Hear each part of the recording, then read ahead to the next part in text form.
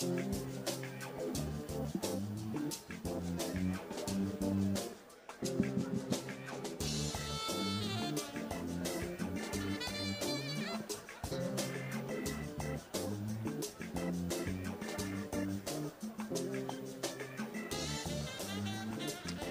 evening, ladies and gentlemen,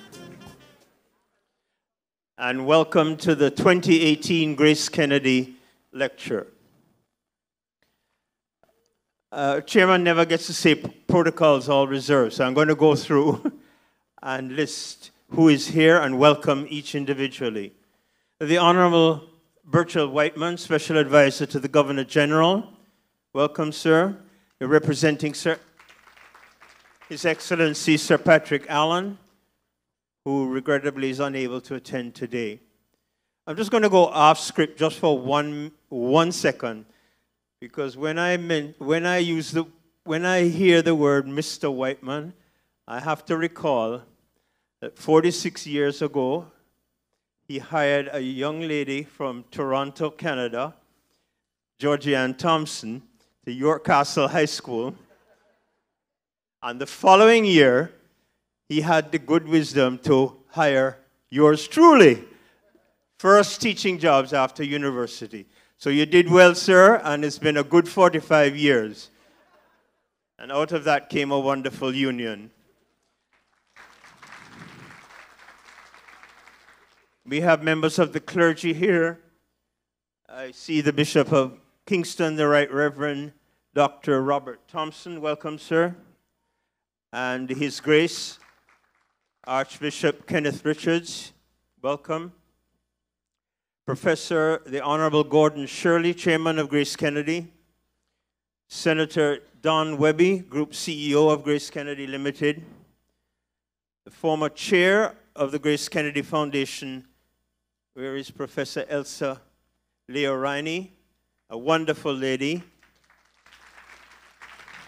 members of the board of directors of the GraceKennedy Foundation and of GraceKennedy Limited, and of course, our special guest lecturer tonight, Dr. Parris Liao Ai Jr. Would you give him a hand, please? And his parents are here, Parris Sr. and Anne Lyew-Ayee. Welcome members of the Diplomatic Corps, distinguished guests, colleagues, students, and friends all. A sincere welcome to you all. In keeping with our vision of the foundation to become a world class corporate entity, GraceKennedy Foundation welcomes you to an opportunity to participate in another of our renowned public lecture series. Providing public access to education is one of our objectives in support of GraceKennedy as a global corporate citizen. The foundation initiates programs that will have a lasting effect on improving the quality of life in Jamaica. And this is one such initiative. Over a 30 year period, the annual lecture has staged presenters of the Jamaican intelligentsia to educate the public on topics relevant to the economies and societies of the Caribbean region. The lecture series aims to disseminate in information in the widest form possible by outreach now, through social media locally and in the diaspora, and by freely distributing lecture materials at the events online. You will receive a, a copy tonight of the of the lecture. Today, we feature another topic of great significance future technologies and their potential impact on us as individuals, businesses like GraceKennedy, and nations like Jamaica and others in the world. Our lecturer, Dr. Parris Liao Ai Jr., I have to say this. Besides his claim to fame as a graduate of St. George's College. How many Georgians in the audience here? Yeah. Is a world acclaimed technology futurist. He's eminently qualified as chair of the Geoinformatics Institute at the University of the West Indies, and he will deliver tonight, believe it, believe me when I say a state of the art presentation like you've not seen before, with a daunting challenge to us all. And the question is how can we employ personal and business strategies to keep pace with the rapid very rapid advances in technology. Welcome, Parris. I don't even see him. He's supposed to be up here. But, oh, there he is. He'll probably make one of these dramatic entries if I know Parris. The foundation closely aligns its strategies to our parent company. You will notice the participation of some of GraceKennedy's companies and tech services here tonight. GKMP, MPay and Bill Express of GraceKennedy Money Services, First Global Bank, GraceKennedy Value Rewards, GK Insurance, and Hi-Lo Food Stores Limited. You will learn also about how Grace, as a global consumer group, is on the cutting edge of new technologies. I'd like to recognize the support of representatives of these companies, of the directors and staff of the foundation, and also of our parent company, GraceKennedy Limited. Every year, we specially invite secondary and tertiary level students and their teachers. How many students are here tonight? Yep. Welcome. These young people are critical stakeholders and customers. For as you know, in their hands lies the future of our nation. Many have traveled far from other parishes to be with us today, and we appreciate your participation. I welcome those of you who are attending for the first time. I urge you to engage in debate today, and also afterwards, very importantly, continue the discussions in your homes and with your friends and colleagues about ways to implement the ideas that you have learned here tonight. Members of the media, welcome. Guests may join us remotely through GraceKennedy's YouTube channel or by listening to Nationwide Radio, 90 FM live outside broadcast. You may send your questions via YouTube or tweet them at GraceKennedy GRP using hashtags TechCharge and GK Lecture 2018. I don't know if there's a name for that little number sign, but oh, that is hashtag.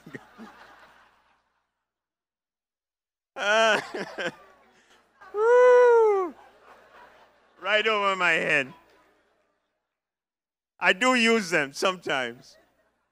I used one the other day, beautiful Jamaica, hashtag beautiful Jamaica. I saw some beautiful pictures and I put them on uh, hashtag beautiful Jamaica. We welcome your feedback, everyone.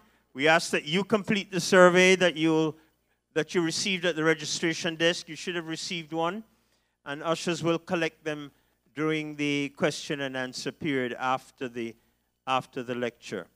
And for those of you who are techies, you can, I believe, scan the code that's on the survey form and fill it out online.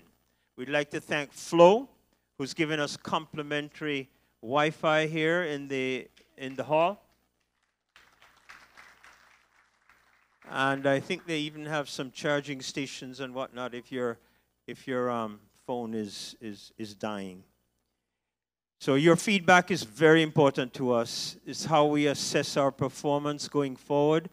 So please do take time to fill out those um, for those surveys. The foundation continues to support GraceKennedy through education in its strides towards nation building. You know, there's a lot written and known about public discourse and how it, important it is to a country and also to a thriving democracy. So, this is an example of giving access to public education. I'll wear my education hat for one moment and quote uh, a famous educator Horace Mann, who once said that education, beyond all other devices of human origin, is the greatest equalizer of the conditions of humankind. And it's really true. It, it really is the answer to equal access to education. It, it, it really is the foundation for improving the quality of life. By giving free and public education to ideas and debate, the GraceKennedy Foundation is happy to present to you tonight Tech Charge Smart Homes, Smart Businesses, Smart Nations by Dr. Parris Liao Ai Jr. You're about to enter a brave new world, a scenario of future technologies, developments that we must embrace and make our own, lest we perish. Parris, knowing Parris, you're in for a few surprises tonight. So, welcome to you all and enjoy the ride. And I'd like now to call upon Mrs. Grace Burnett, CEO of GraceKennedy Financial Group. Thank you very much.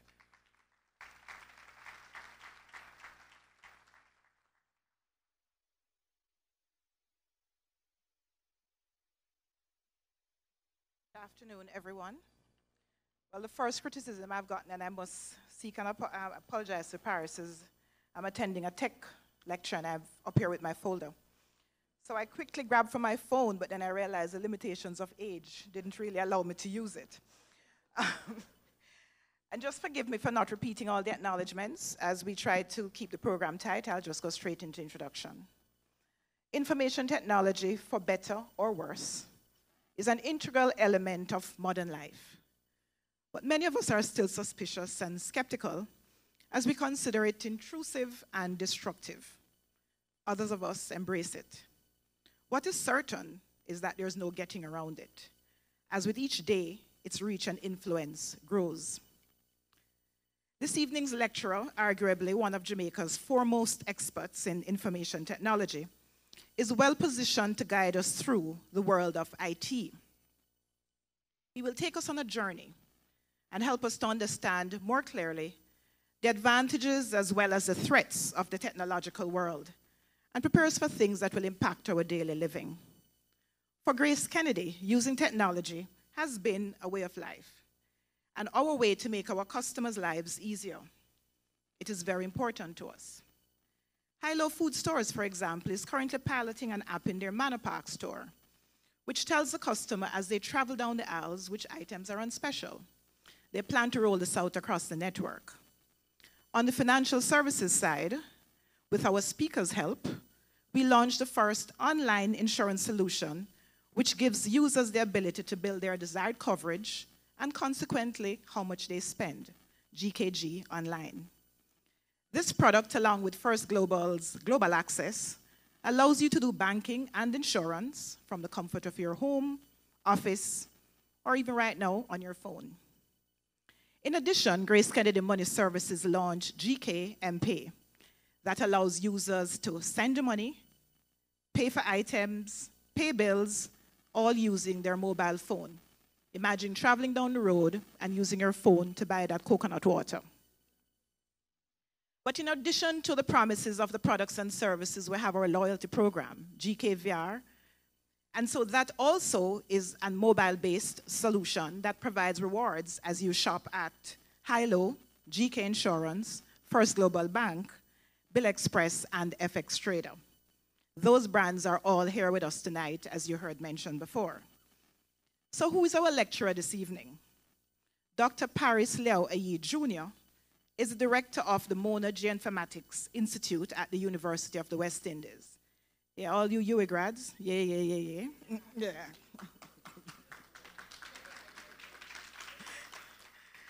The Institute not only delivers training and participates in campus research activities, but also provides GIS services to the public and private sectors locally, regionally, and internationally using the largest private GIS database in Jamaica, JAMNAV.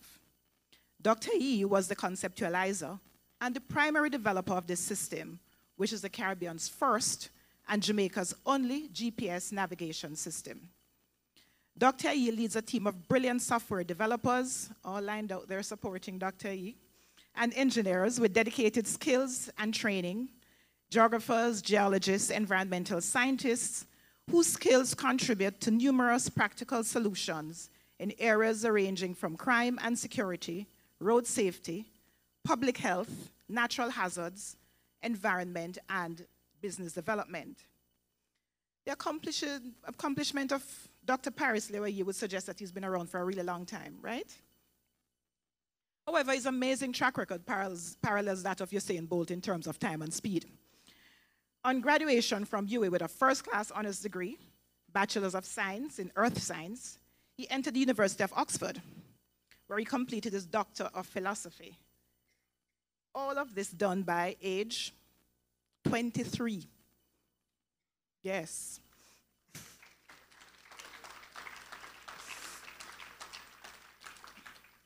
He modestly notes, however, that the accomplishment was just a way to get back home quickly. His return to Jamaica has been marked by accolade after accolade for the outstanding contribution he has made to his chosen field, as well as his nation. A selection of his numerous awards include the Prime Minister's Youth Award for Excellence in Academia in 2004, the Youth Musgrave Medal in 2005, the Governor General's Youth Award for Excellence in 2006, the Ministry of Education's EduVision Award for Excellence in Innovation in 2009. He was also named one of the private sector organizations of Jamaica 50 under 50 business leaders. Professionally, has also been recognized for excellence with his publications on several occasions. And some of you may know of his book, Natural Hazards Atlas of Jamaica, that has been recognized by UWI and also by the book industry of Jamaica. In 2014, he was awarded the U.S. Eisenhower Fellowship, joining a select group of international professionals. He's the author and co-author of peer-reviewed books, papers, book chapters, magazines, articles, consultants to technical reports in fields as varied as business, crime, geology, planetary science, archaeology, GPS technology, and education. He can breathe. He was also the youngest person to be appointed head of the Department of Geography and Geology at UWI. Dr. Yee's contributions are not isolated to UWI. He currently serves as chairman of the National Water Resources Authority, the National Works Agency. He serves on the board of Grace Kennedy Limited, the Bureau of Standards, just to name a few. When I saw the list, I just cut it off at a point. With so much on his plate, does Dr. Yee have time for any hobbies or interests outside of his professional national commitments? Yes, he does. And again, it's varied. It includes aviation, automobiles, history, animal rights, travel, gadgets, ancient and modern military history, and sports, basketball, and American football. So we feel really privileged this afternoon that he accepted our invitation to present this evening's lecture. So just help me at this point welcome the presenter of the 2018 GraceKennedy Foundation Lecture, Dr. Parris Liao Ayi.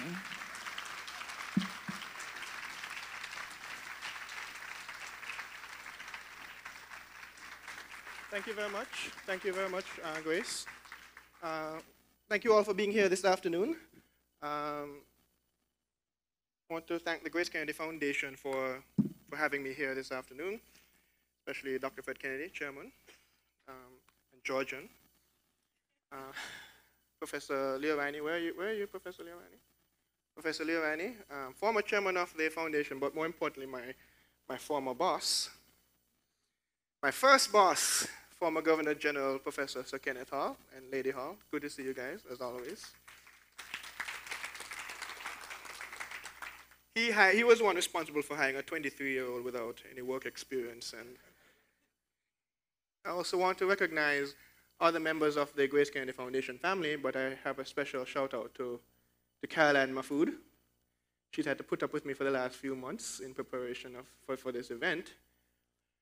I want to, to shout out to my colleague directors of the main board of the GraceKennedy Group, Gina Everton. I know Doug is at the back. Frank, my professor of, of, of accounting. uh, Group CEO, Senator Don Wehby, but more importantly, Georgian. and um, Group Chairman, Professor Gordon Shirley, my former boss, but reigning Gleaner Man of the Year. So.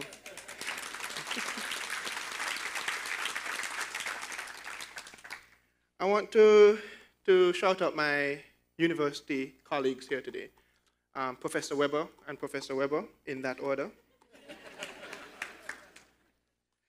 and then we have Professor Michael Taylor in the back, former GraceKennedy Foundation lecturer a few years ago, Professor Taylor.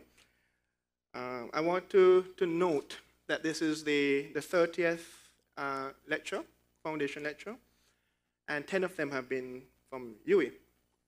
So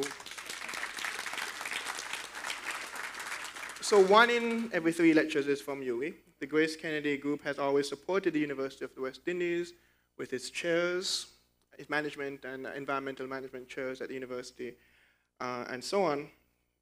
I've been with the GraceKennedy family for exactly five years this month. Um, but I've been with UWI all my life, literally. So I'm UWI today. I'm not, I'm not GraceKennedy today. But that's, that, that, that goes without saying. But there's a particularly particular UE entity that means a lot to me, and that's the Mona Geoinformatics Institute. And my colleagues are here today. You guys stand up. You guys stand up. The,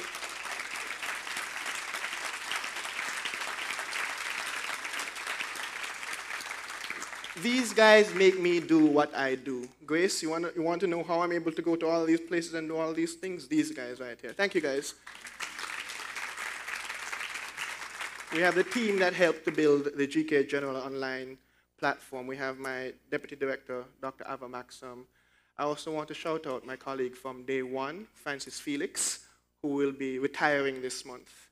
I don't know, I'm going to live without you, Francis. But um, the, I also want to shout out so many other members of the audience who, with, with, with, with whom I've shared a lot of my career. I want to shout, hey, Gordon Sharp is here, um, formerly on the main board of GraceKennedy. But I want to recognize those who've traveled far and wide to come here. We have people here from Trinidad, we have people here from Poland, we have people here from, um, from all over the world, and people watching online right now. But I want to recognize my parents right here.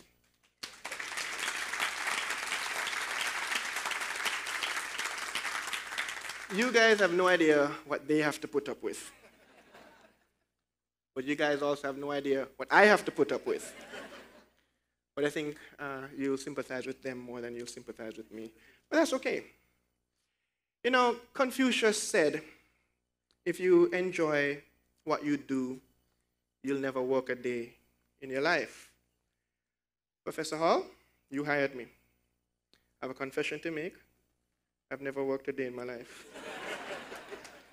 you know, as we speak about technology, we all know what technology is if you don't know what technology is, you're in the wrong place. I'm not going to spend this afternoon talking to you about what technology is, etc. But as you see in my little byline right there, I've made observations from a practical standpoint over my 13 year career, but I've been doing this all my life. So, what is technology? Where are we going with technology? But more importantly, what does this mean? So we're going to do a little bit of, of background here. We're going to talk about technology. We're going to see where we're going as a, as a country with technology, but we have to start somewhere.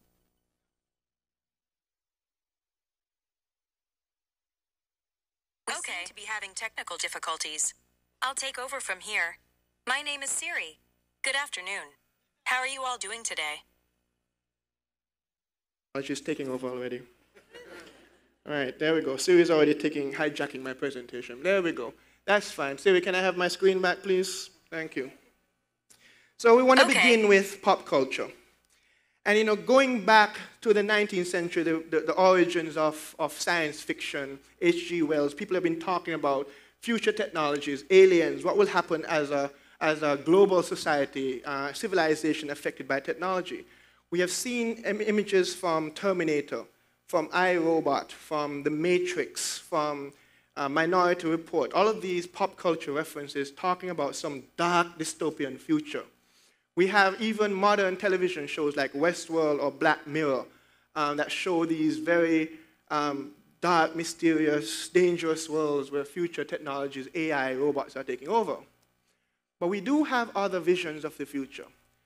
Star Trek, right, Martha? Yeah. So Star Trek actually gives us a vision of the future 300 years from now, where we actually see from a television series from the 1960s glimpses of the future where a communicator looks pretty similar to a cell phone, a tricorder looking like a smartphone.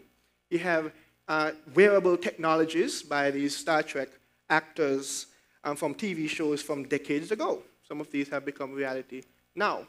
And Captain Picard does look like he's holding an iPad in his hand from a TV show from the 19, early 1990s. So we've seen glimpses of the future. But we also want to talk about how technology and business have intertwined themselves over the last uh, few years. In 1955, the top companies in the world were either involved in heavy manufacturing or involved in oil. Now, if you look at any measure of the top companies in the world, whether it's the most influential, the, the, the, the highest market capitalization, etc., all of these companies are not necessarily involved in heavy manufacturing, but I've highlighted some of the tech companies, the Apples, the Googles, the Amazons, Microsoft, and so on. But here's the first surprise for you. Every single company here is a tech company. You're telling me that Boeing isn't a tech company? With their simulations of new aircraft, military weaponry, space tech, they're a tech company. You're telling me that Walmart isn't a tech company?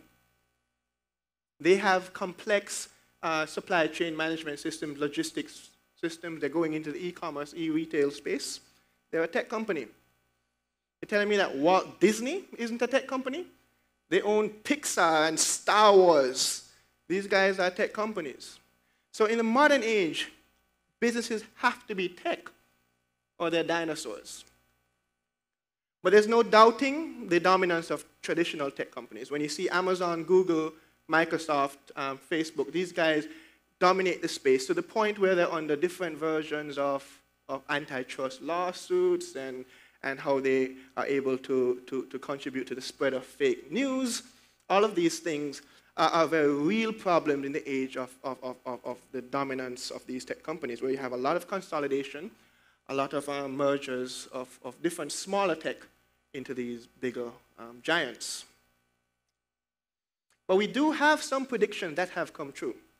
Anything ranging from debit cards, cards, electric cars, satellite, even the moon landing um, these were predicted decades before they actually happened. But there are those that miss the mark. We still don't have personal, personal helicopters, or that was supposed to be the reality by 1951. And in 1999, we would be flying around on rocket belts in climate controlled domed cities and so on. In 1999, that didn't happen. We've had people predicting the future from a long time. We have the British Post Office in 1876 saying the Americans have need of the telephone, but we do not. We have plenty of messenger boys. Done. The president of Western Union in 1876 says that the telephone has too many shortcomings to be seriously considered as a means of telecommunication. In 81, cellular phones will absolutely not replace local wire systems. And in 2007, Steve Ballmer from Microsoft said there's no chance that the iPhone is going to get any significant market share. 1903, the horse is here to stay. Right? Another prediction, internet will go spectacularly supernova and in 1996, catastrophically collapse. In 1889, none other than Thomas Edison says nobody will be using alternating current. Ken Olsen, no reason anyone would want a computer in their home. Yeah, right. that kid probably knows more about computers than me. Another guy said if there were a trustworthy way to send money over the internet, which there isn't, the network is missing a most essential ingredient of capitalism salespeople. Yeah, right. This guy is the first person in history to have a $12 billion, 12 figure um, net worth, $112 billion um, net worth. Steve, um, Jeff Bezos from Amazon. You can see where he came from. But Time magazine in 1999 predict, uh, made him um, Man of the Year because they, Time magazine, realized that e commerce is going to change the way the world works. But what we have to understand, there are different types of technology, and the evolution of technology changes depending on the use, the type, etc. Some technology becomes obsolete because they're replaced by better tech, faster tech, or tech that does more. Look at how smartphones have come, they do so much. But you do have examples of redundant tech ranging from Palm Pilots, floppy disks, VHS players, typewriters, beepers. Remember dial up internet? Those guys don't know dial up internet. Right? Some technology never lived to the hype.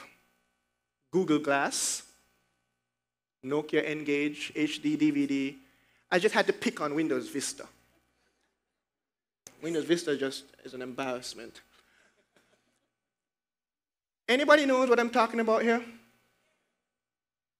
What tech do you know that was really spectacular but just totally evaporated? Very good. Anybody still have one of those? You see? David. right, exactly. Nobody in this room has a Blackberry because you guys are all in the right presentation. Some technology augments previous technology but doesn't necessarily replace the previous one. Radio didn't replace the newspaper, TV didn't replace the, the radio, internet didn't replace the TV. Yeah, we're going into different cord cutting type of things nowadays in the modern era, but television is still around in one way, one form or another. You also have transportation. Don, your horses aren't going anywhere, although I doubt you use them to push carts, right? Ships are there, Professor Shirley. Different forms of ships, but they're still ships. Ships are the centerpiece of global commerce. They weren't replaced by the airplane. Cars are still around. They've just evolved. Different types of cars, different types of planes and ships, but they're still around in one form or another. One medium did not totally replace the other. But then even looking at cars, and I'm a car guy, that's why I don't know how Grace knows that because she runs insurance company and she has access to big data. Um, but I like cars. And, but we have three different bleeding edge tech cars. We have the Bugatti Chiron on the top left. Right? Yeah, exactly. You have the Acura NSX, and you have the, the Tesla Roadster. Each of these cars are supercars. But the Bugatti is a petrol powered car. You still, you still have to fill it up at a gas station. The hybrid car, the NSX, is a hybrid car. No different from a Prius. Yeah, right. But it's still a hybrid car. And then the Tesla Roadster, the fastest production car in the, world, in the world 0 to 60 in 1.9 seconds. It's on its way to Mars right now. Totally electric. This is how technology is evolving. But we still have retro coolness going on. Pac Man is still cool even though it's nearly 50 years old, right? You look at video games like Final Fantasy 15, even the latest Madden, all those games have high tech graphics. You have to use PlayStation 4, Xbox, Xbox One systems to run these things. But simpler, simpler tech, your smartphones can run simpler games. You don't need as sophisticated graphics as, as those other games. You can still play Pac Man. Vinyl on turntables are also making a comeback or have been around for a while, aren't going anywhere in clubs and so on. Which speaks to how we as a society and we as humans, what do we need? We fundamentally need food, air, water, security and shelter. We need friends and family. We need to mean something. That was then.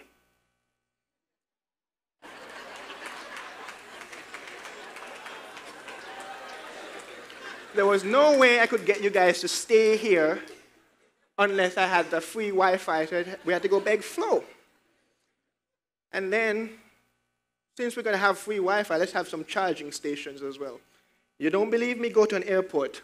People are more interested in that charging station on the floor next to the bathroom than the food court.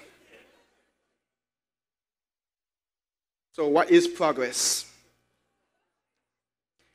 And it's not as funny as you think, because issues of cyber addiction, obesity, these things become public health crises. In, in countries like Korea, they really are looking at ways to combat um, cyber addiction and the health benefits that these things uh, that come along with these problems.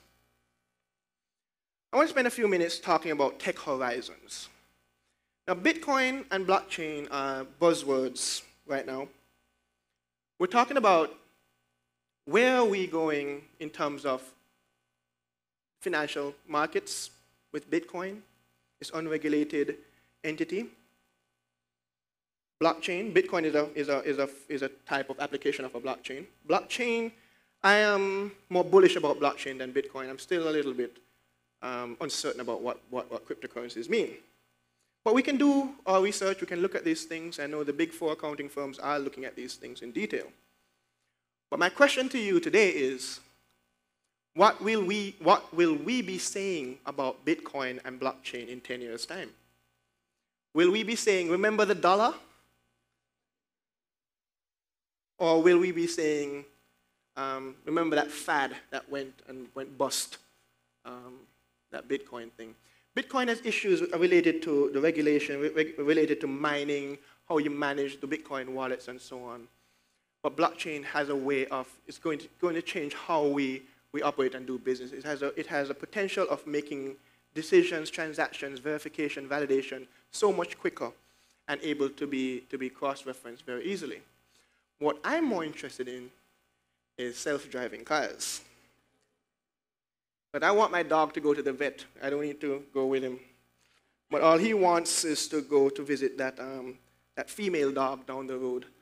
But he can drive himself. But anyway, that's what all parents eventually have to do, right, guys?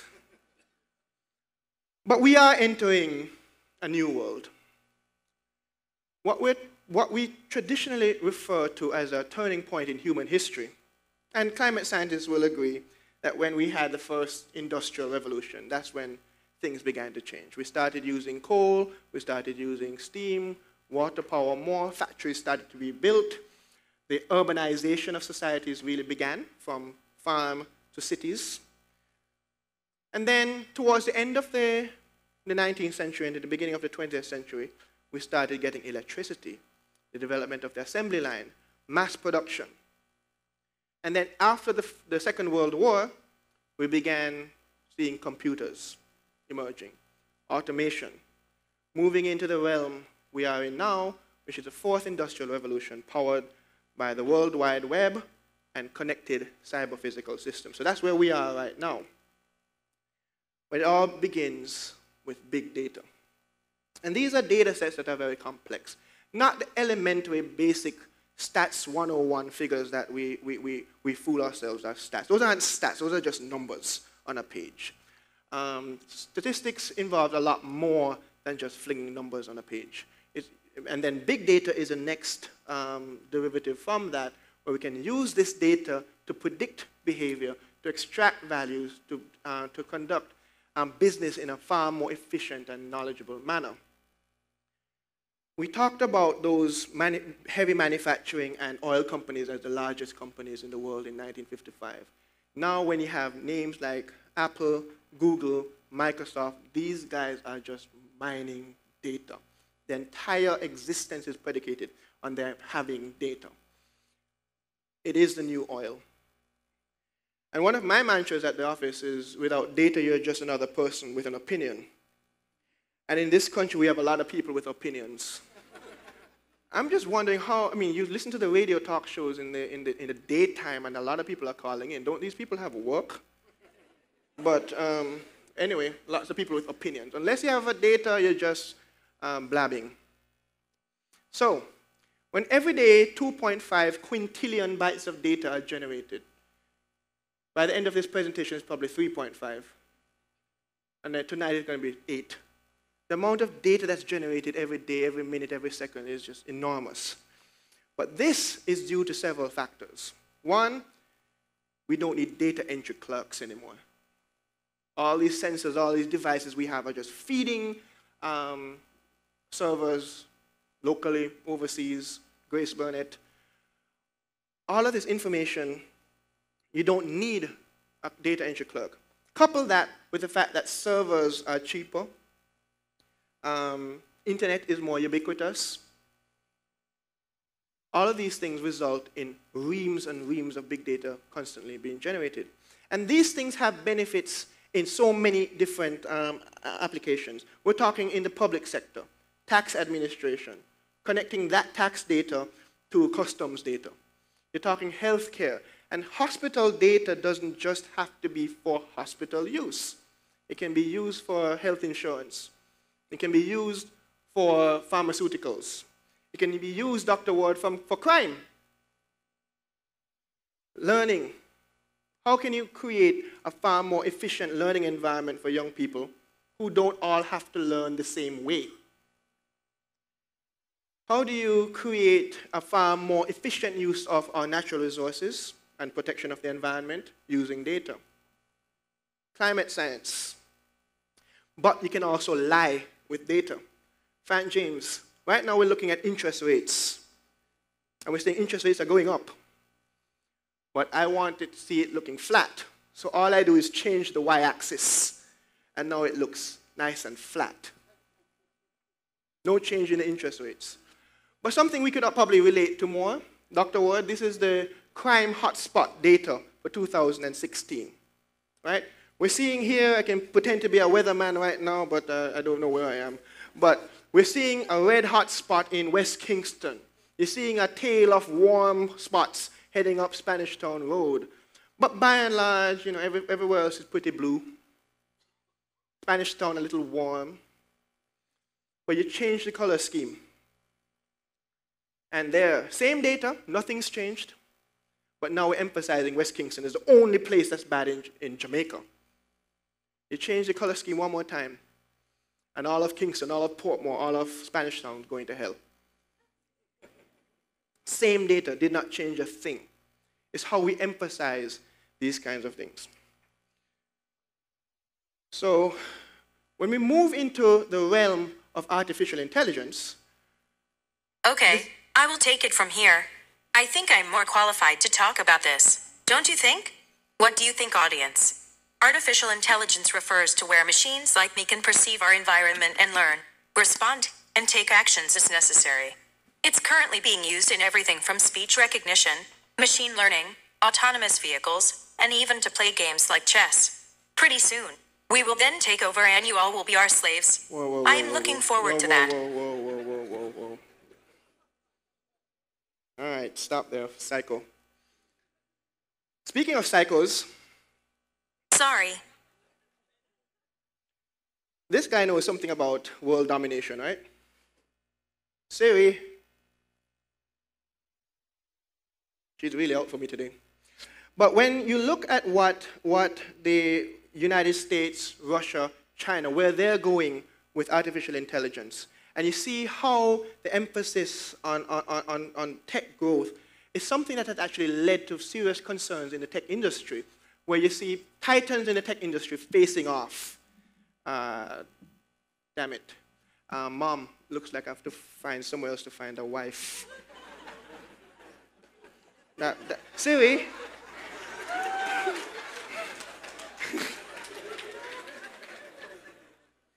Yeah, I tell you that uh, I'm gonna get a Samsung. All right. Yeah, so tech titans, tech titans are squaring off as to where we're going with artificial intelligence. On one side, you have Mark Zuckerberg from Facebook being very bullish about where um, um, artificial intelligence can go. But Elon Musk, one of my heroes, a real life Iron Man, um, he is, is fearing that the rush and the race for AI could actually lead to World War III. Uh, and, and Stephen Hawking, of all people, is in, is in the Musk corner. So it's very interesting to see how this thing plays out.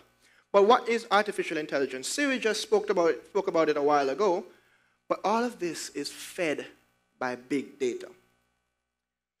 And we are worried about the impact of AI on jobs. And we've seen several articles in the local media over the last few months about AI is going to cost how many jobs, blah, blah, blah. It's going to affect jobs, it's going to affect um, workers negatively in some cases, but it's also going to positively affect in other places. We're going to talk about higher, higher value jobs, training uh, for a different vocation that can serve the AI uh, industry. But it also depends on the task that you're going to be doing and in the sector that you're operating. If you are a machine operator in a manufacturing plant or a food service worker preparing foods in a fast food restaurant, it's a little bit different. It's easier to replace you with AI than if you are in senior management, if you're a lawyer.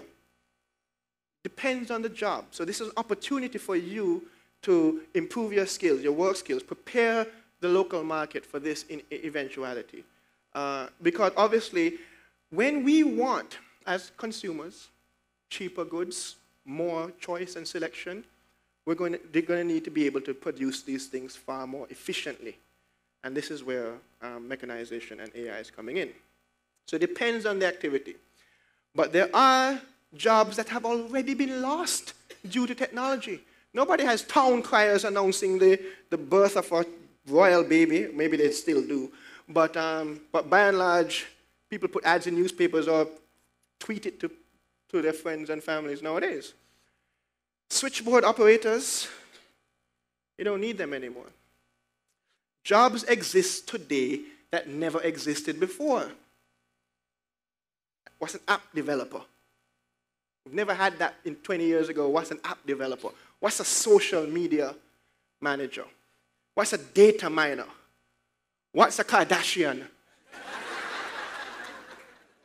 Actually, I had a picture here, but Caroline censored me. But you know, you know how we, it, it actually broke the internet. You know what I'm talking about, right? but it all leads us to the Internet of Things. You don't need to be, you don't need to have a computer like that baby earlier on to be connected to the internet anymore. Your fridge, your washing machine, your car, all these things are connected to the internet right now. Predicted to have over 30 billion objects by 2020. We're looking at smart homes, and the hub of your smartphone home is your smartphone. We have uh, companies and products like Ring that has just been bought by Amazon. Um, I, am thinking about getting one to keep out my neighbors. But um, we, have, we have all these different home technologies here. You have the Amazon Echo, you have the Google Home and Google Assistant, Nest, thermostat, and of course Siri. Hey, that's me. But yes. All right, then we have wearable technology. So you have Fitbits, you have uh, Samsung Gear, you have Apple Watch, and you have the Garmin um, wearables as well. But we transition from the smart home to smart businesses right now. And we're not just talking about businesses that build smart tech for smart homes anybody who is doing direct marketing, online marketing, are going to be using smart tech to understand what's going on. You want to understand your data flows of your customers, their, their complaints. You want to get in front of a complaint before this thing goes viral. In the manufacturing industry, you can control your supply chain from your raw materials sources all the way down to your final consumer and your customer. You want to be able to control your energy consumption and your water consumption, your waste generation. All of these things have real bottom line dollar values to a business. If you want to be able to operate efficiently, you're going to have to get smart. And it's an example of a smart um, business um, flow in the, in, the, in the case of, of, of, of manufacturing. And I would note that you know, GraceKennedy's factories all have SAP. You have ERP in your Hi-Lo systems, uh, Renee. All of these things show that GraceKennedy as a company already has the, the, the, beginnings of a true smart business, but in order to integrate everything together, we have to, everybody else has to get smart.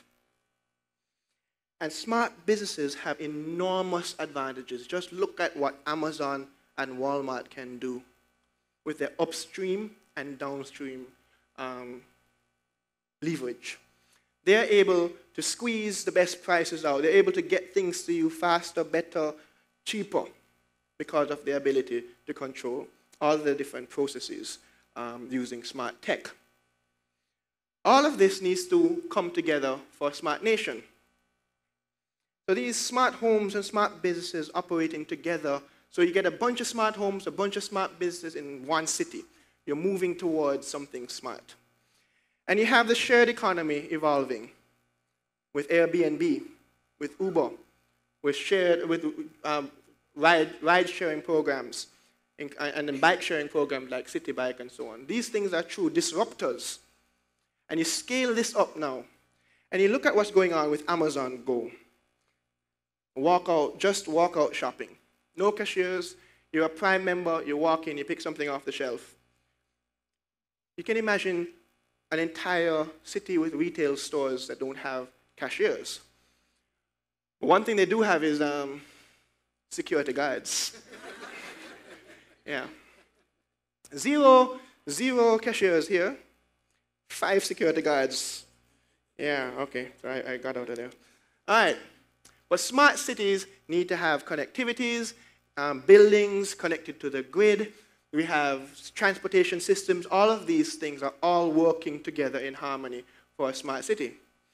But you need to be more than just connected to Wi-Fi. You need for, for, for everybody connected to the Wi-Fi, feeding and being fed by that system. We need the system to be open. We need people to be able to connect at their convenience, easily, and quickly. And this thing needs to be scalable as we build out the smart city. But we have examples of smart cities around the world. Toronto is actually the first city that's going to be a smart city based on private sector. So Google is going to be developing part of, of, of, of, Toronto. Um, this is Fred Kennedy's house. So you got to invite me there next time, Fred. Nice view. Barcelona is an older city that is becoming smart, but you have developing, the development of, of, of um, smart garbage bins, urban mobility programs that are able to get um, and move people in this old city. And you have a new city like Songdo in South Korea, brand new, built from the ground up to be smart. All of them are examples of smart cities. Now, Singapore is going to be the first smart nation. $2.4 billion is going to be spent to integrate existing smart systems ranging from traffic systems, CCTV systems, um, port management systems. All of these are going to combine to create the first smart nation. But we have to understand something. Singapore is a small country. Six million people, but it's a small country. East to west, from Changi to Tuas, is a distance from Bull Bay to Portmore. And north to south, from Woodlands to the downtown, is a distance from Stony Hill to our waterfront. That's the size of the entire country. Okay, so it's small, easy to smarten up, right? We have to understand that smart cities have strong impacts, positive impacts on the environment, better energy consumption, leading to fewer emissions, leading to fewer public health problems, national security with the connected CCTVs, public transport getting and moving people around, and all of these allow for a business-friendly climate. Easy to invest in a country where paperwork can be done, file quickly, things get moving uh, in a city, in a city, in a smart city, that means business. But there are issues we have to, to look at. An executive from Samsung noted that sensors are not enough.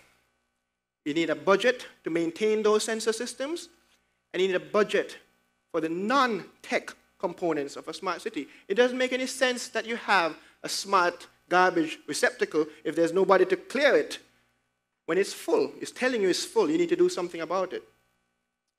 You need a culture of innovation and change. You can imagine in an old city that you want to turn into a smart city and you run into heritage people and conservationists who are going to end up getting in the way. So you have to decide how we're going to do this thing, but be prepared for it. And scale is important. Singapore is small. How do you do something like this in Russia or even somewhere like Canada? Not that it's poor, it's just it's big.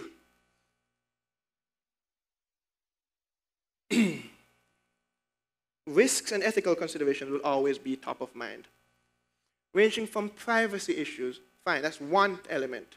But when privacy escalates to data breaches and theft, these are uh, areas where cyber security is one of the biggest areas in technology nowadays. It's largely in the shadows, behind the scenes. You have ethical hackers right now testing systems. Something that we need to be assured as customers, online banking, and so on, is happening. But then we, we now breach into issues of political independence. You see what's going on with those Russian troll factories. Last week, PJ Patterson was talking about the need for this region to look at, at, uh, at, at cybersecurity as it relates to our sovereignty. I mentioned technology dependence and cyber addiction earlier, issues of health and safety, and environmental. These are all the concerns that we have to understand as we deal with increasingly uh, technologized societies. And now I want to spend some time talking about Jamaica. What we need to do is understand that technology isn't the be all and end all. A lot of people say technology is going to do this, and technology is going to change that. Technology should, could, would, will. And the answer to every one of those is no. Technology isn't going to do anything. We are. That's the part we keep, we keep forgetting. We're removing the human component from it, right? Because what happens is that promises are made about what technology can do. Technology doesn't do it. How do you hold somebody accountable? Right? We fall in love with technology, yet we're not able to do something uh, to really make a difference in this, in this country. And we have an obsession with conducting a study, a pilot, right?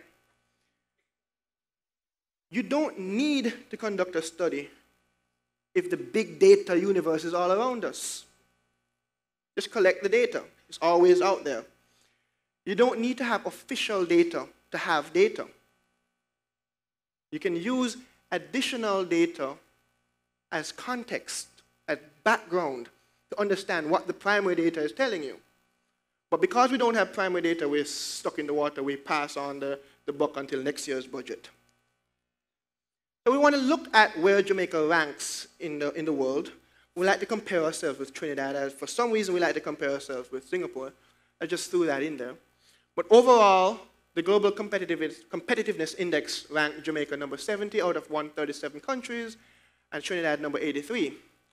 We ranked higher than Trinidad in innovation, but we ranked lower than Trinidad in technological readiness. That tells us something. There's something going on there. Right? We need to understand how we use technology in Jamaica.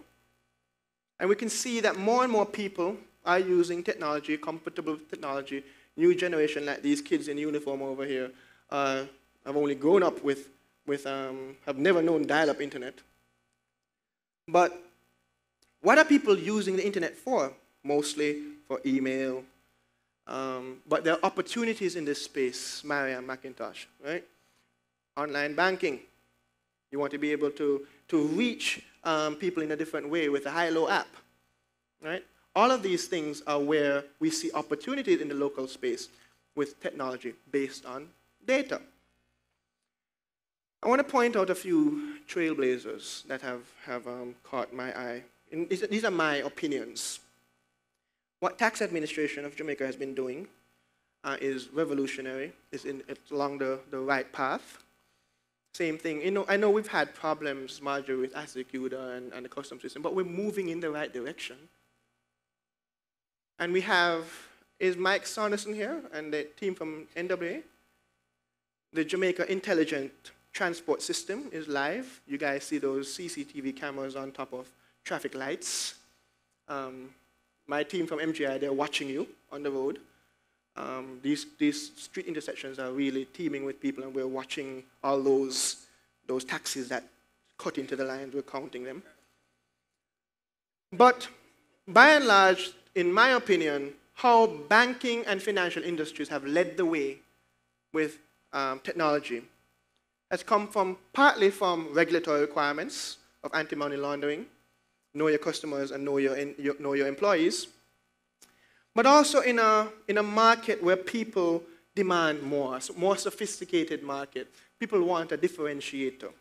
Look at what First Global Bank is doing with the virtual tellers and the global access, right? You have, you have to continue to evolve, uh, and you need technology to do that. Now, one of the more in interesting things of, uh, in Jamaica over the last 15, 20 years is really how mobile phones have really penetrated. Building contractors, taxi drivers live and die by their cell phone. And how many cottage industries have evolved as a result of this technological, technological platform. And finally, JPS. JPS is not a utility. It's a tech company. You see what's going on right now with the conversion of those streetlights, installation of smart meters, LNG, um, power generation and power generation storage. That's technology. That's going to result in so many different advantages, ranging from the environment to our light bills, hopefully.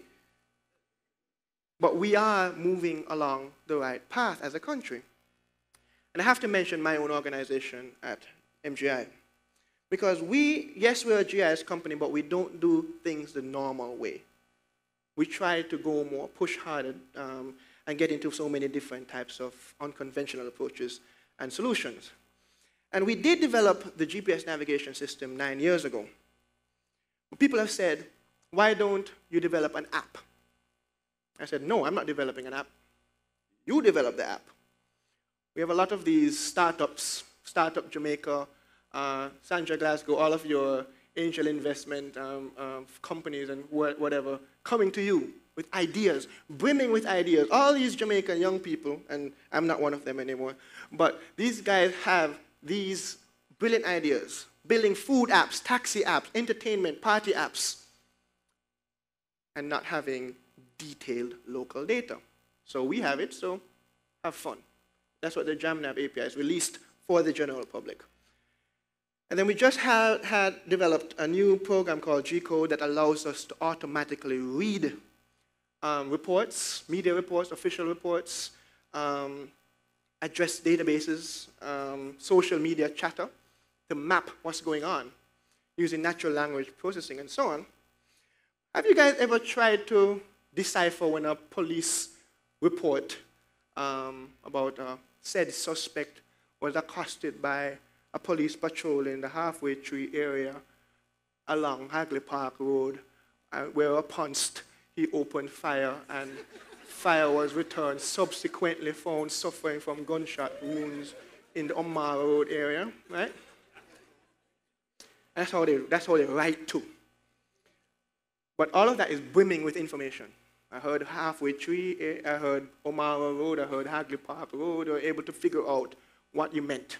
We're able to pinpoint your location. You don't need to change how they talk or how they operate, although they do, but Right now, let's just deal with what we have in front of us. So this is actually our biggest application of big data. Nine million combinations of possible addresses in this country that we're able to locate. Um, and that's what we're working on right now. We also have a real estate tracking tool. This is not to help you find a house, but this is to help us figure out where the economy is going, where the housing starts are, where places are for rent versus for sale versus residential versus commercial? Is something going on in the New Kingston area? Right? If you see a townhouse going for sale, a pattern of townhouses in Denham Town, each going for $20 million, you can look at that, see if something funny is going on. It's a, it's a high level dashboard for us to be, begin watching what's going on. So in mine data, I know the managing director and deputy managing director of the Water Resources Authority are here. These guys track every flood. But the Water Resources Authority has been around since the 50s. People have been reporting floods in Jamaica since the mid 19th century. And we mine that information as well. Of course, we have to take out uh, instances where the switchboard was flooded with complaints. And we have to remove the elements where they say that the West Indies cricket team lost by a landslide. but we're able to catch this information and build out over 3,000 landslides and 2,800 floods across the island, looking at frequencies and patterns and so on. But we turn our attention to specific challenges, looking at the road network. We look at road safety, and all we do is talk about fatalities. we look at road safety and we forget to talk about the road. So we did a big data analysis looking at the roads themselves. So Professors Weber, you biologists can talk about taxonomy. A bat and a bird is the same thing because they both fly. We have Marcus Garvey Drive, six lane divided highway designed for a particular type of traffic, 50 kilometer speed limit. We have Cassava Piece, half a lane, two schools, 50 kilometer speed limit. The bat and a bird, same thing. All right, so, Professors Weber, apparently a caterpillar and a butterfly are different things too. One has wings, one flies, one crawls, doesn't fly. So they're different. We have Hope Road in front of Sovereign. Lots of things nearby. Lots of stuff going on. Hope Road in front of Jamaica House. Same 50 kilometer speed limit. Right? So what we've done with the big data analysis is to begin to look at every risk along a road, the traffic along a road, characteristics of the road, shape, whether it's curvy or not, slope of the road, and we're able to determine different types of road in Kingston or in Jamaica. It's something that the International Road Assessment Program is doing right now, the IRAP program, to begin to look at different types of road in Jamaica to promote road safety beginning with the road. And it's something that we're very happy to be a part of. Why did I throw this into this, slide, into this presentation? Because we had an event a few months ago on New Year's Day called SANS. And we're talking about what happened with Port Royal, the airport, the Palisadoes Road, etc. And yes, it's a critical road. But it got me thinking, where else in Jamaica, which other corridor in Jamaica is as critical? And long story short, it is a stretch of road between where the north-south highway empties out in Mandela Highway and where you enter um, Portmore along Municipal Boulevard along Mandela Highway. That stretch of road is extremely critical. If anything were to happen on that road, there'd be extreme displacement. Yes, there are alternative roads, but the volume of traffic and people that will be likely affected. We're not just talking people commuting to and from work, we're talking about distributors getting their products to the market, we're talking about emergency services being able to move um, up and down and around the country. So we're able to quantify that using big data. Here's another very interesting thing. We, we use our, our analysis on um, road safety. We get the police reports every morning. A motorcyclist died last yesterday in Westmoreland, so we know what's going on. But this is the 2017 um, final report of fatalities. The number one fatality, cause of fatality in Jamaica is lane violation. People are drifting out of their lane, cutting corners, those types of stuff. Number two is caused by pedestrians, just running, running, running into the road. Other one is negligence, just start backing out or coming out of a side road and don't stop. The number four cause of fatality in Jamaica in 2017 is speeding, and speeding has not been the number one cause of fatality in Jamaica for five years. Right? Yet the narrative is still stuck on one, one dimension. Road safety is very complex. I want to recognize the presence of Chris Hind from JN General Insurance. They funded an analysis of every single crash in Jamaica for 10 years. 72,000 crashes, 3% of those are fatal. In other words, 97% of all crashes in Jamaica are not fatal. So they went and put up billboards across Jamaica indicating where is a traffic crash hotspot, not fatal crash hotspot. So you saw these distributed around Jamaica, located and situated based on data, not opinion. We looked at crime. And then right now we have a new police commissioner. We look forward to continue working with the police on crime. But remember, the police is not just crime. What we did, we went and looked at every single police station in Jamaica. We contacted every police station and asked them, where do you serve? Um, Toby, what did they say? You don't know? Or they said, I don't know? Okay, so the police said they don't know where they serve. We figured it out for them. We looked at police stations. We looked at police stations relative to other police stations. We used the road network, the community network, and figured it out. Why? Because police have different responsibilities and different resource allotments. Darliston Police Station serves 18 communities. May Pen, 16 different communities. These have implications on whether they have enough motor vehicles, have enough staffing, equipment, shifts to be able to handle 18 different communities in rural terrain. Not just crime. Spanish Town has 127,000 people within its own proximity. One police station to 127,000 people. Halfway Tree has the most things, whether it's banks, fast food places, churches, schools, etc. Halfway Tree has nearly 2,000 things. These are where you have to look for pickpockets and thieves and, and, and, and day and night activities and so on. Different police station, different activities. But all we obsess about is murder. So Spanish Town Police Station had the most murders in 2017, followed by Trench Town, then Montego Hills. But looking at the murder rate, which is number of, number of murders per 100,000 people, Montego Bay Police Station had 534 murders per 100,000 people. Why is this significant? Because the national average, national murder rate is about 53. So Montego Hills, Montego Bay Police Station has a murder rate. They, the Montego Bay Police Station is dealing with 10 times the murder rate at that, within its vicinity. Dr. Ward, Professor McCartney, and Dr. Jason Toppin worked on a cost of care study, landmark groundbreaking study. They were able to calculate that the cost of violent injuries, by the way, for every violent injury reported to the police, five of them are reported to the hospitals. So we're looking at an underreporting from the police statistics. $8.6 billion per year is what violent injuries cost the country. Add that to road traffic crashes and suicides and attempted suicides. We're looking at $12.6 billion per year on uh, the impact to the, to, to the local economy. All of this will be better spent on first aid systems, first responder uh, training, prevention.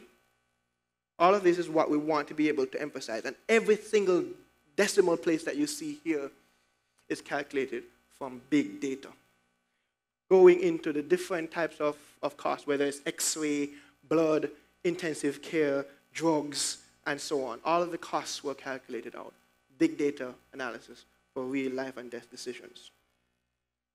So, we really cannot just parachute in a tech solution. We have to understand the role of training in science, technology, engineering, and math, something that the government is already doing, something that GraceKennedy does with its STEM center downtown. We need to understand, we need to look at this thing beyond a tech lens. We need to understand that future brings opportunities. This thing is rife with opportunities for us. Instead of complaining with our opinions, let us just try to get, get on, the, on, the, on the ball here. The Vision 2030 document does provide a very good blueprint for us to, to, to move forward, but remember 2030 is 12 years from now. And we're getting a little bit tired of the talking, we need to start moving. But technology is only as good as the people running them. We remember the situation in Hawaii from a few months ago. The technology works, it got out to who it needed to get to. The problem was the fool running it. And this is the USA. So it's Puerto Rico. Right? Death toll 60. That's official figures. But different people, journalists, family members suspected the number to be as high as 1,200 or so on.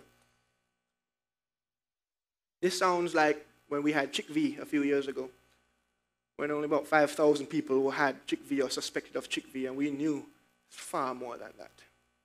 But official data needs to be validated and checked. The point here is that if technology can change the world by itself, it's too late. And one of my other role models is Steve Jobs. Because what he articulated here is very evident in his products. Apple did not invent the cell phone, they didn't invent the portable media player, but they were able to marry it with design. By the way, the largest design company in the world is IBM. Right? You have to look at how these types of elements come together to create the product that's going to change our lives. If we just simply look at it from, uh, from, from a tech lens, we're going to miss everything. But right now, we have to remember that Pete Drucker said, I think Don likes to quote, uh, um, um, was that if you want to predict the future, you create it. But another way of predicting the future is to see it. You want to be able to see the future, to immerse yourself in that future. You want to be able to see what Jamaica will look like as a smart city pilot that JPS is already running. New Kingston is already set to be the first smart city in the Caribbean. We're talking about smart electric meters that are installed in some of our homes already. Free public Wi Fi, not just at Emancipation Park, but in every street light going down Knutsford Boulevard. We're talking CCTV camera footage that can not only prevent crime but also look at traffic. All of this is what we're talking about as it relates to how this country is moving. This is not a fantasy in somebody else's world, but this is our future. And what we want to be able to do is to walk in this world, to be able to be a part of this system that can be able to, to, to, to drive our future. We want to be able to see it. We need to be able to, to, to participate in all of this and to be able to move forward. All right? So thank you very much, everyone.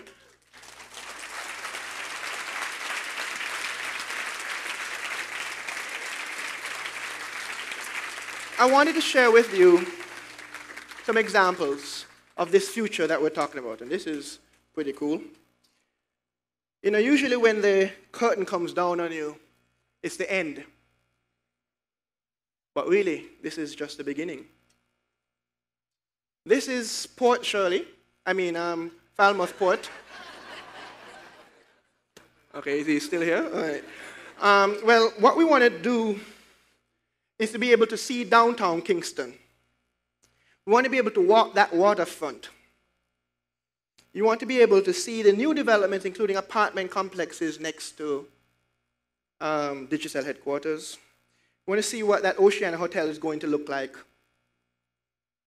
We want to be able to use this in combination with urban planning, tech design, investor prospectuses. We want to be able to see that this future is already happening. The Ministry of Foreign Affairs building is going up right now. It's going to change the downtown Kingston skyline. We want to be able to see Don's new office, December 2018, right here. It's Going to change the downtown Kingston skyline. It's going to change the way we see downtown Kingston and, as a result, how we see Jamaica. This is technology, right? This doesn't have to be just be in the realm of architects. It has to be in the realm of stakeholders who can engage in this world right here. Bring the world beyond the four corners of your property and show the wider universe in which you're operating in. Yes, that building is going to block your view Don, but think about the, the wider benefits of what we're talking about here. On behalf of Parris, I would like to thank you for your attention today. I hope you had a good time. If you did, you're welcome. If you didn't, it was his fault. I swear that, that, that thing is out for me. But, but yeah, so uh, uh, that's it. So I, I, I think we're going into question and answer now, Caroline.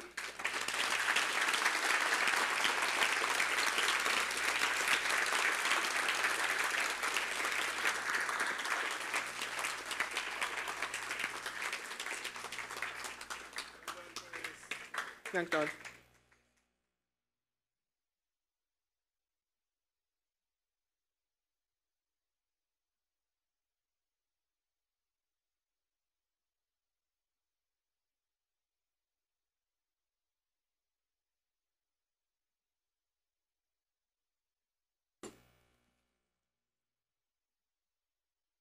Okay, I think there are mics distributed across the room.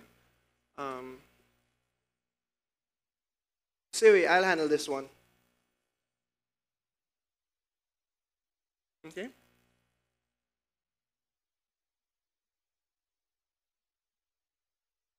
Good evening, Mr. Parris. Uh, evening. How are you? I'm good. You good? Mm-hmm. Up. I'm tired. I big up for everybody else. I like this as a mature person. A whole heap of things this, you know, I never even know. So, geez, um, anyway, I'm asking, as you say, human thing, right? We have to be a part of this technology, right? And what really surprising is when you tell me about the data and the police stations. Have you told the police, Mr. Commissioner, why you say? Yeah. We And what did they say? Yeah, we work very well and very closely with the police, uh, with the army, with the different security uh, uh, agencies. Um, it's just that when you when you have people who are under a lot of pressure and have a lot of stress, well, um, but we're all trying to help, aren't we? It's something Yeah. I know the PSOJ is pushing very hard to get the, the, the private sector involved in this, Yeah, and uh, we're ready to play our part. sorry, even downtown. There's a lot of people downtown. There are a lot of poor people downtown, and I know it's the innovation and everything else. But at the end of the day, me being part of the winner city, how best would we be a part of this technology? How best would we be a part? How is the information would be? Being as always, not everybody can hold inside this place. How can you go further on a wide scale to tell the other part of Jamaica that many- this is going to be? Yeah, there are many ways to answer that question. The first one I'm talking about with, with respect to the smart city Yeah. is that in New Kingston there'll be free public Wi-Fi all over the place. So that's one access um, to technology for anybody and anybody. Um, but there are also programs around the country, not not um, not just the Grace um, STEM Center downtown where people can go and do homework and whatever. But Dr. Ward and the, the, the, the learning networks through the Violence Prevention Alliance create homework centers across the city in inner city areas where people don't have access to, to, to internet and, and, and, and technology as, as much. But even the Jamaica Intelligence Transport System that I mentioned earlier that's powering the um, CCTVs, is the, the government of Jamaica has its own fiber line that it can provide to different government institutions for free. And so you're talking about access. This is where we're able to, to, to, to really grant access to a wider, wider swath of people. It's there. You just need to go for it. Okay. And oh, GraceKennedy, this is my daughter. Renee, you can stand, please. Stand up, bud. I have to. Tell him. Uh, stand. This is one of Grace Kennedy babies that I. Great. great. She's at UTech right now. I want to just big up the foundation. Yep. Uh, oh, you can celebrate with that. I like to say thank you because when she was in high school, she was given jobs so that she could really acknowledge what money is and how to spend it best. So that as a Browning, yes, a Browning, she's earning her money and not somewhere else. Thank you, GraceKennedy. And I just want to just big you up again, Mr. Parris, for how you make the thing work. Thank you.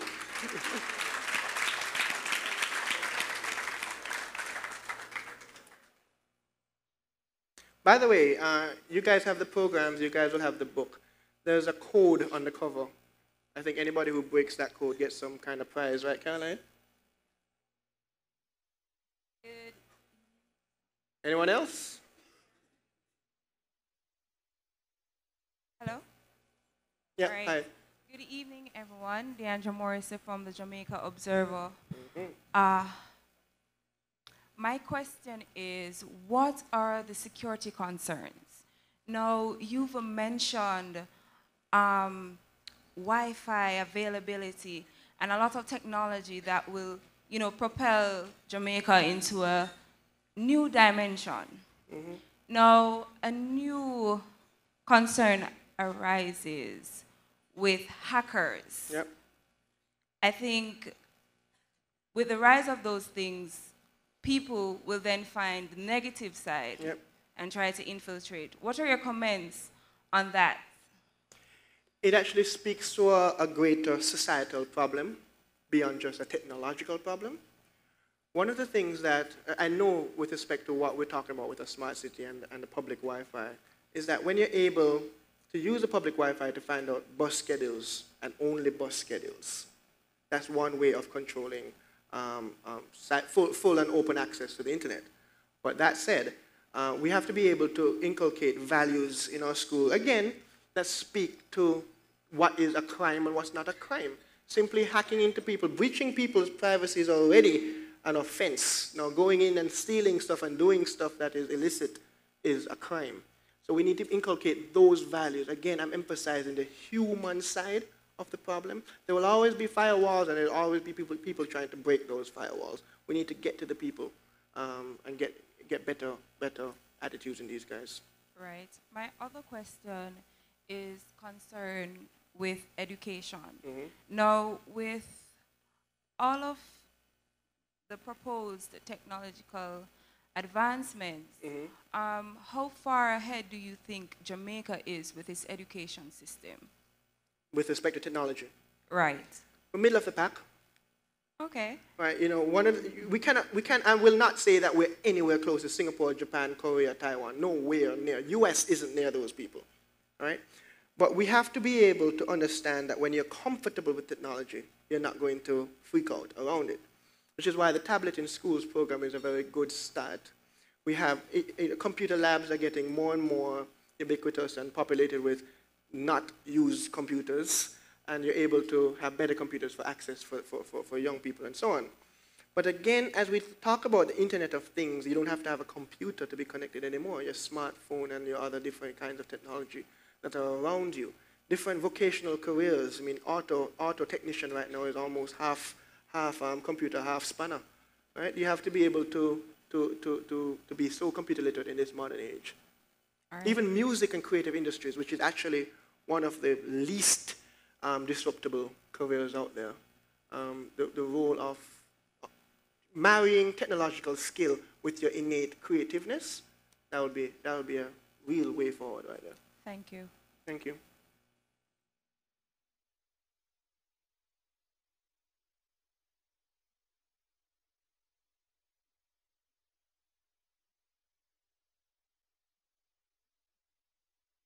I can, I can. Go ahead.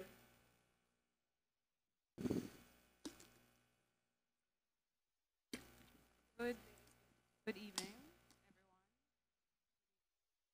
My question is related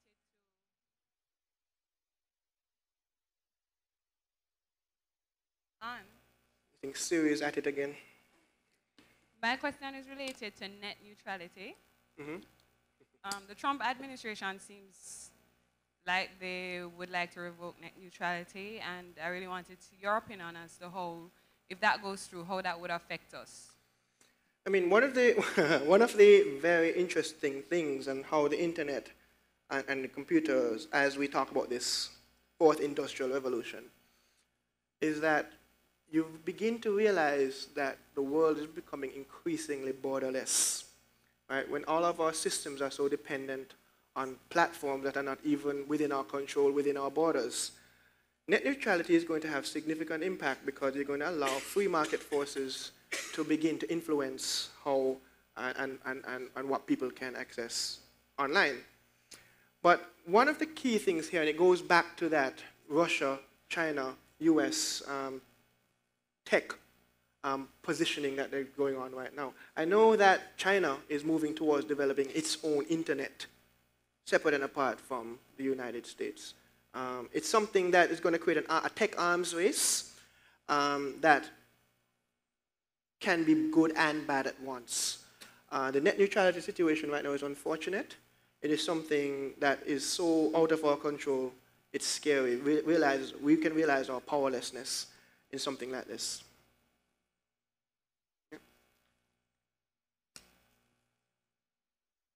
I was saying that I returned to Jamaica a few weeks ago and looking at the economy, the country from a more professional perspective, um, I had some, I had great interest in seeing the development of what's going on. I'm involved in startups. And um, looking at your presentation, it was encouraging in many ways. And um, you have certainly very actionable conclusions from the analysis of the data. What I was wondering is the extent to which you're working with various government agencies to actually um, implement or take action on some of the things that the lady over there mentioned, the, um, the analysis of the, um, the police station, the manpower, and the, the extent to which these uh, resources are stretched. So what agencies, or how many, if you don't want to say which agencies, are you working with? We work with several government agencies, but specific to the comments earlier, um, through the Violence Prevention Alliance, I think that's our greatest touch point. Uh, we have a lot of sociologists and um, criminologists and so on. Um, the Violence Prevention Alliance works with, well, is, is, headed by medical epidemiologists, in other words, scientists, and we formulate a data-driven approach to looking and tackling problems. Everything you saw with the cost of care report, trying to put some dollars and cents to the problem, and not just saying how many people died last year, is a number value that can affect uh, how you budget something and, and, and, formulate policy. When you talk about um, looking at not just murders alone, but looking at murders, shootings, rapes, robberies, a 10-year pattern, a pattern for month of January relative to certain trigger activities or so on. Not just basic raw numbers, not even statistics. We're talking about, about implementing things. We're talking about um, predictive analytics, what is likely to happen should. Uh, these are things that we can do. It's not just about looking at those police um, station coverage areas. It's then marrying it with, with, with capacity within those stations, whether it's vehicle equipment, uh, firepower, support, uh, these are things that we need to be able to look at. And this is where we begin to shine a broader light on a, on a problem beyond just crime, but in general, um, police operations, not just security. Police have other roles as well, road safety, and so on. So that's where we're, we're trying to take a full 360 approach. And, but we can only go so far. We're not government, or we can, we, can, we can implement tools. There is a role for studies, there's a role for pilots, and there are roles for solutions as well. Excuse uh -huh. me, sir. Yeah. Um, good evening. Um, I believe I've broken the code, but I'm not sure what to do. Okay, very good. Caroline, what's the what's the no? Don't tell, don't tell, don't tell us what the code is. I come to Caroline. Very good. Congratulations. What's, what school you come from? Campion College, sir. Uh, no. I see some Georgians here, man. Hurry up now. Okay, anything else? Yeah. Mm -hmm. First of all, as a science educator, I must say how very informative your excellent lecturers. And um, yes, I think he deserves a big round of applause. Thank you very much. and your ability to articulate to okay. the extent that I didn't see you with a script, so you know, really that is awesome. My question is, uh, I have a mother who is 89 years old. And recently she went to the bank, there were no tellers. They had changed the whole scenario in the bank, and of course it threw her because she had to get help to use the ATM. She didn't know anything about codes and all of that. To what extent do you think the future is going to be inclusive? If we're talking about a smart nation, mm -hmm, mm -hmm. Um, we're talking about the millennials, mm -hmm. but the millennials are going to be left out. So to what extent? I just coined the word, sorry.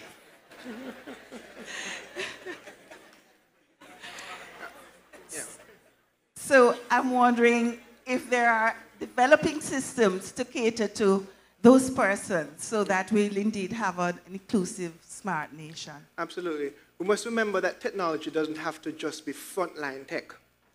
The ability to, to, to, to make um, your brother's uh, experience in the bank or any other institution uh, less frustrating can just be where everything can operate very quickly and efficiently. It doesn't have to wait in line very long, and that there's a problem with the machine, come back tomorrow and line up again. Those are the kinds of efficiency improvements that can make the user experience better. We're not throwing the baby out with the bathwater here, you know.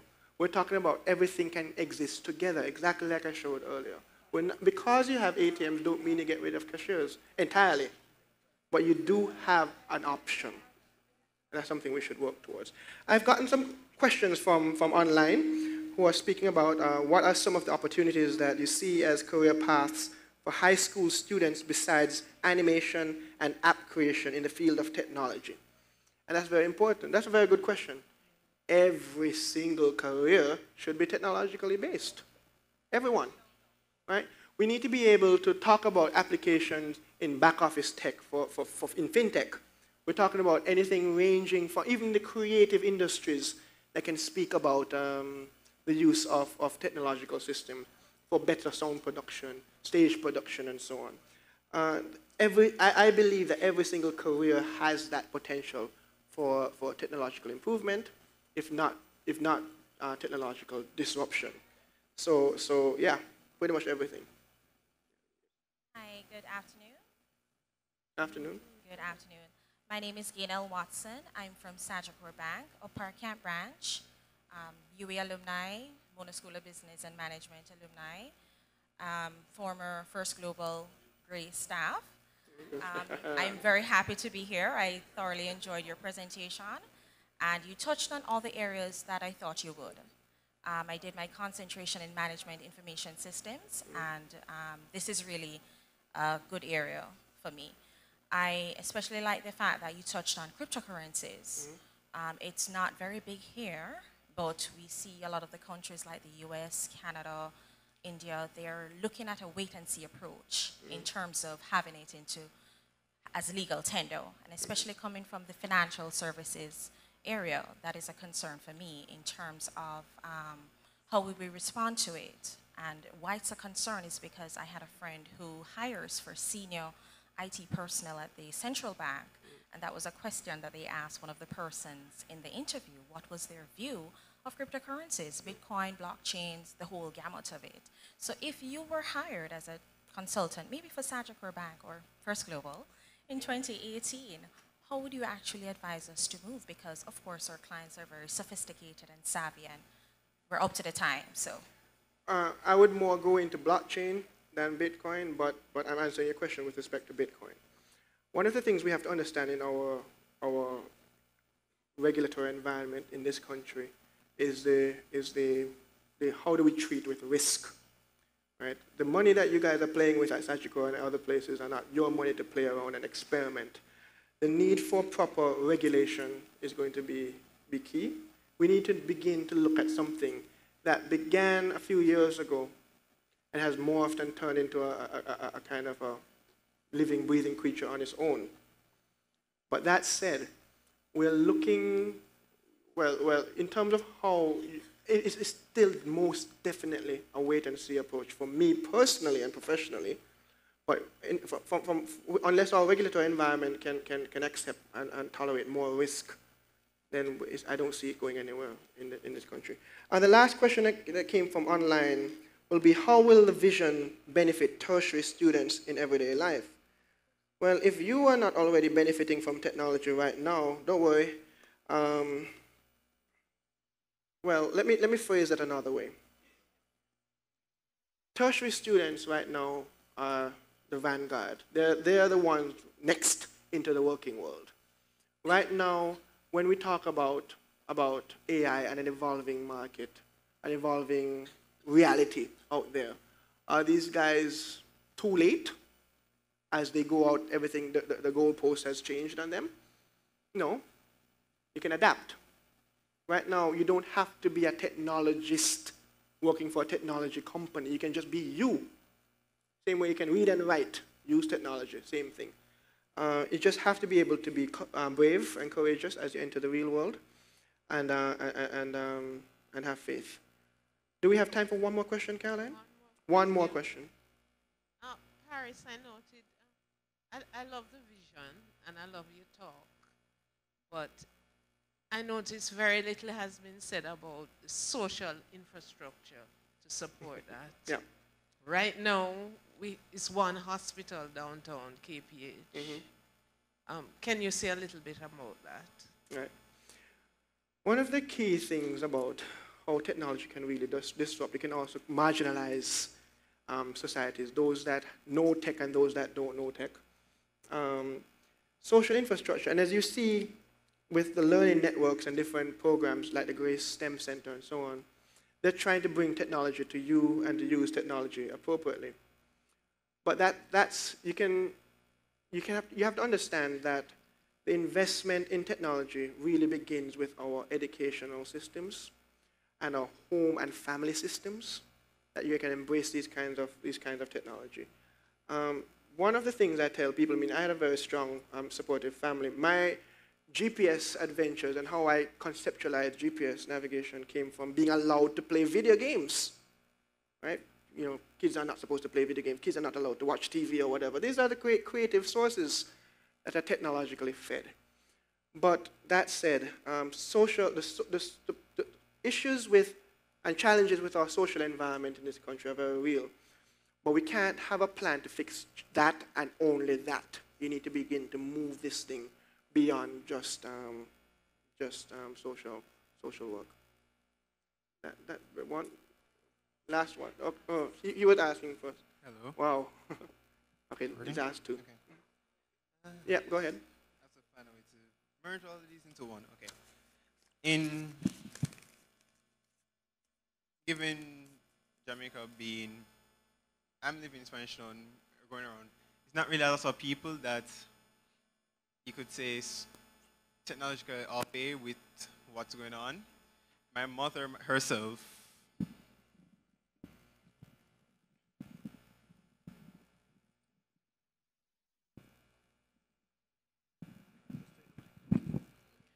Okay. So there's not really a lot of people, as I, as I said before, that really technologically off in Jamaica. Even my mother herself last week found it a really hard time being in a Volkswagen to steer or even control it because of the various buttons and systems in it.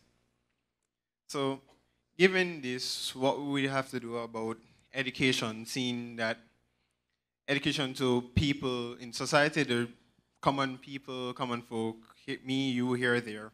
And even what I was going to say more on, you talk about high schools and different schools, because youth are the future, as the cliche says, and without the future, the country dies.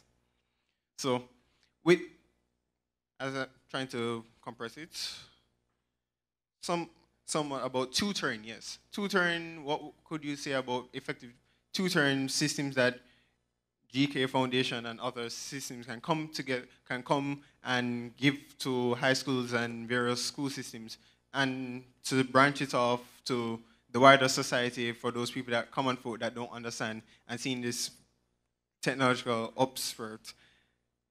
Thank you. I would encourage, yes, the GK um, STEM Center and its different activities does tutoring and so on. But I would encourage other corporate entities to do the same, spread out, do more. Uh, it's not just about corporate social responsibility. This kind of activity is good business. Being able to get and, and, and to get the, the next generation of young people, not just educated, but also loyal and familiar with your brand and so on. So we have to look at this thing very, very, very carefully. But I encourage all um, corporate foundations and players to, to, to, to do what GK has done. Last question. Thank you. Thank you so much. Good evening. I'm Andrea Moore, attorney at law and a social servant, I would say. I would like to commend you on your presentation. It was Thank very insightful and very informative.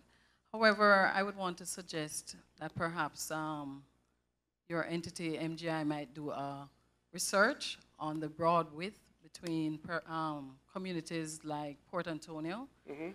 and, uh, for example, another community, perhaps in St. Elizabeth or anywhere that has less um, possibility of bandwidth, so that we'd have an idea as to how we can improve on Access. that. Mhm. Because we recognize that there are areas that have consistently no internet at all, and therefore that's an area that needs significant improvement. In addition, I would want to commend the GK um, Foundation for the work they're doing, but want to know if it's possible they could perhaps partner with the government or the other entities to get more tablet in schools. Recognize that there is a good thrust for it, but there's certainly need for more, Mhm. and if that could be something that's taken on board. Thank you. And obviously, public-private partnerships are going to be very key in how we move forward. But, um, but absolutely correct. I think we've noted, Ava, we've noted the comment regarding the different uh, disparities between access to technology in different communities. Please, last one. I'm about to okay. keel over. Right. Good afternoon, sir. I am never very good with pronouncing your last name. That's fine. I thoroughly enjoyed your presentation. My name is Hubert All, and I'm from Moco in the cool hills of Clarendon. Good. Right. Very good. All right. It's in JamNav, yes. so yes, I've been there. Okay, and uh, I'm also a teacher for 20 years at the grade one level, primary education, and a very proud father of eight beautiful daughters. You, you look too yeah. you look too young to be teaching 20 years and to have eight kids. But my question to you, sir, yep. is how does all of this benefit our children who are from very deep rural Jamaica? Thank you. That's a very, that's a very, very good question. You know, one of the one of the sadder things about, and I mentioned about uh, rural-urban migration earlier, um, is that you, uh, rural life begins to atrophy, and we want to be able to. You see, you see, when you have technology, you don't have to come into town to work, but you need to be able to have that broadband access there to get that done. You need to be able to, but at the same time, you need to be able to be computer literate and familiar and comfortable with these things.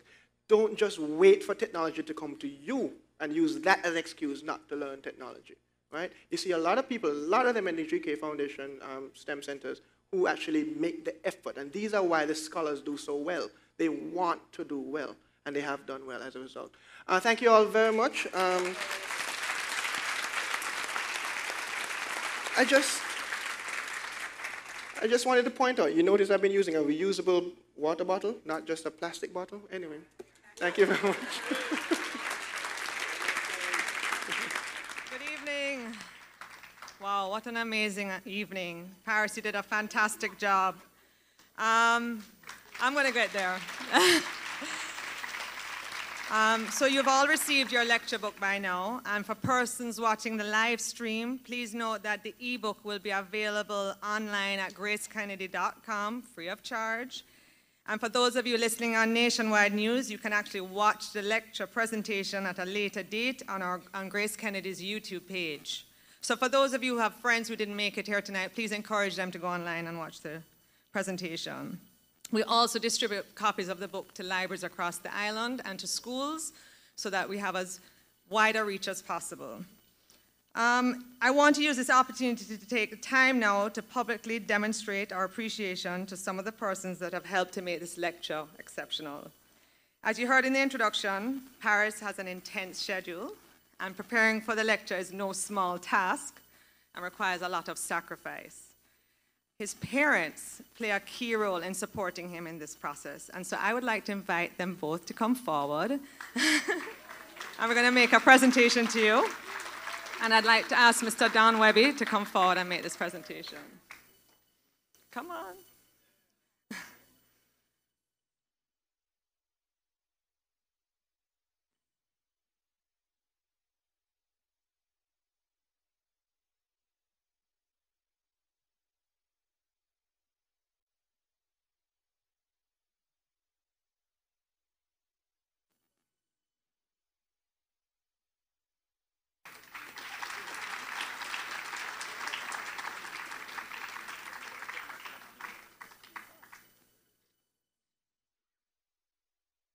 Great.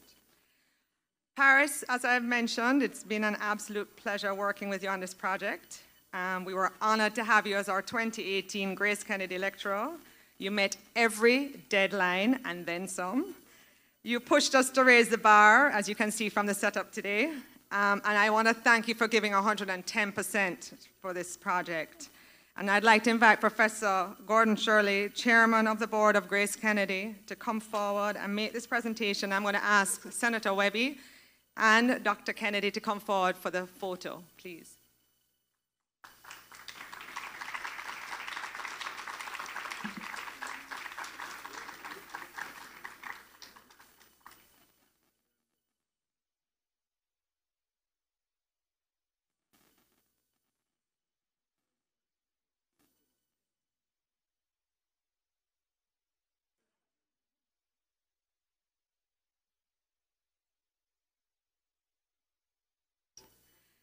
Um, so this year, based on the lecture topic, we decided to do something special leading up to the lecture. we launched the Tech Charge competition where we asked persons to create a video on how they use technology in their lives.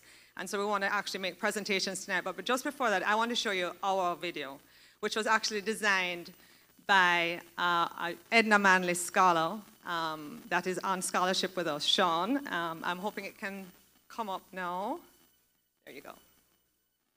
Sean Terrell made this.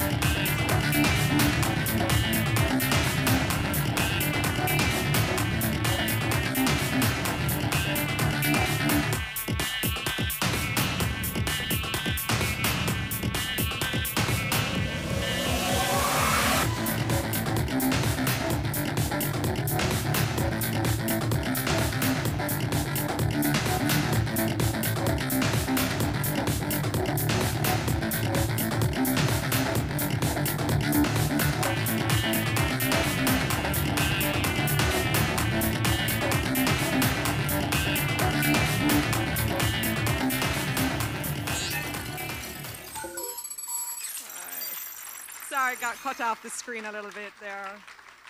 So that was our long version, but we actually had some wonderful entries um, for the competition. And so I'm going to actually ask the persons who have been selected to come forward.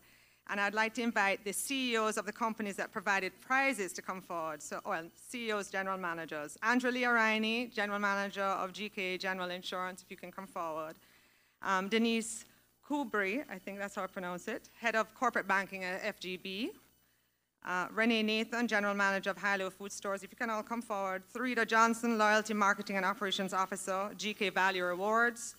And of course, I have to have my chairman there. Fred Kennedy, can you come back up, please, for us? All right, so the winner of the most likes for the competition won vouchers from Hi-Lo and GK Value Awards valued at $16,000. And the winner for that is Steve Lawson. Come forward, please, Steve.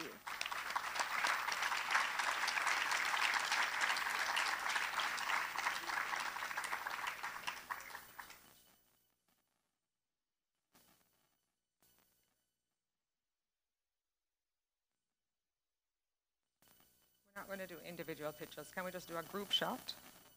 No, Steve, come take a group shot with everybody. I'm just trying to speed up time for you.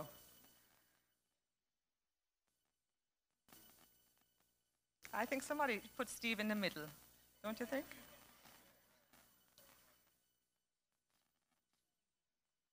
All right, great. Congrats, Steve. Third place, won vouchers from Hi-Lo, Bill Express, First Global Bank, GK Insurance, GK Value Awards, valued at $19,000. And the winner, the third place person is Dion Lloyd, who happens to be one of our GraceKennedy scholars. Congrats, Dion.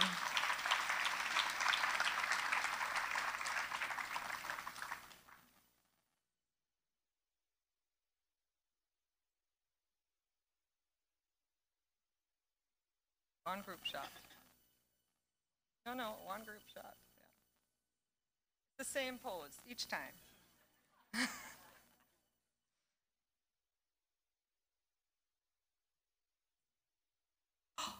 Please stop. One minute.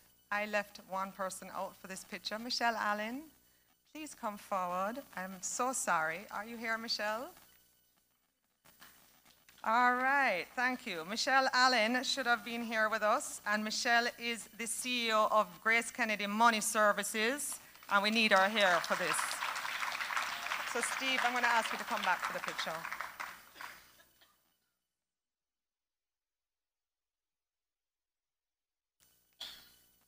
Great. Just keep the pose. We'll just replace the person. Thank you, Michelle. Um, in second place, that person won vouchers valued at $21,000, and that is Corey Morrison. Congrats.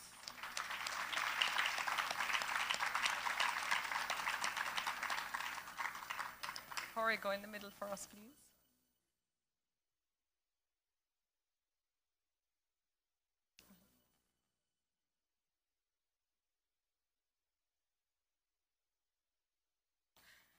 All right, and I'm going to actually ask Steve if you can just come back up and take the picture since Michelle was not there.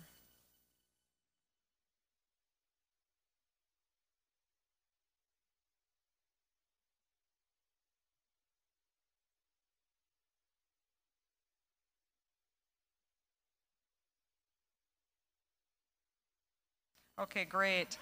Our winner is D- Adrian Hosang, but however, he is not here. He, had to, he was here, but he had to leave to go to work. So I'm going to thank you all. He won prizes valued at $25,000. Thank you very much to the sponsors for making this happen. So just a reminder that we'd like you to fill out the survey. Uh, you know, we really shouldn't be doing the paper thing, but we did that as an option. If not, you can scan the QR code that you'll see outside and um, do the survey online for us. I want to thank again all the persons that have contributed to making this lecture a great success, and I'm going to now invite Shaluk Richards to come forward and do the official vote of thanks. Thank you.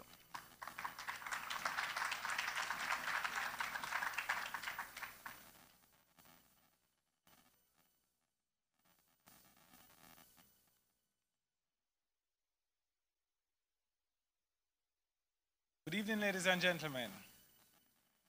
I'm sure at this point in time you will forgive me in embracing the protocols previously observed. Uh, this is indeed a very timely and thought provoking lecture, wouldn't you agree? So let's just, at this point in time, the vote of thanks is, is always a bittersweet moment, uh, as it signals the end of an event that we anticipate with much eagerness, I'm sure, especially Parris. Um, enjoy thoroughly, we all did, and which we simply don't want to end. I'm, however, very honored to have been chosen to say thank you to all those who have worked hard, so hard over the past several months to prepare for and execute this outstanding event.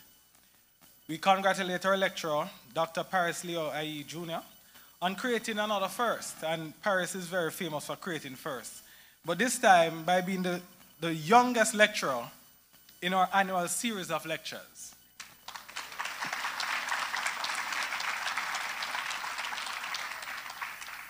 His presentation was brilliant and certainly opened our eyes to the issues that surround us in this age of technology.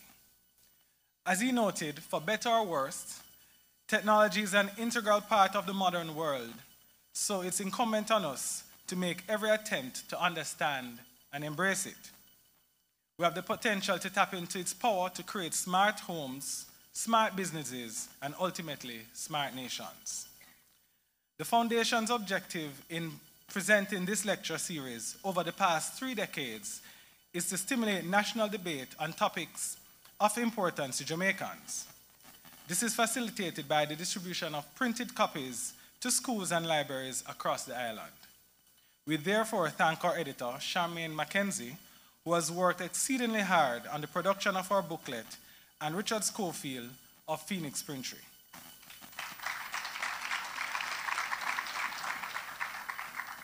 The GraceKennedy Foundation spends over $20 million in university scholarship awards annually. I'm actually a proud Carlton Alexander Scholar who benefited uh, uh, Parris spoke about the importance of data, and, and, data would suggest that I benefited from this 19 years ago, but I'm sure you won't agree. um, so, as a foundation, we're committed to investing in talented young people, and so I'm very pleased that the artwork for the invitation, social media ads, and the lecture book cover were designed by our 2017-2018 GraceKennedy Scholar to the Edna Manley College, Ryan Scott. Is Ryan here? Invite Ryan to stand.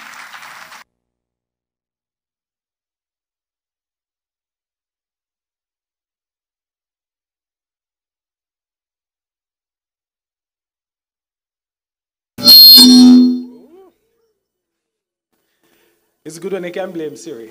Um, Ryan is studying visual communication and he has done an outstanding job. Wouldn't you agree? Special thanks to Dale Beckford, Digital Content and Design Officer at GraceKennedy.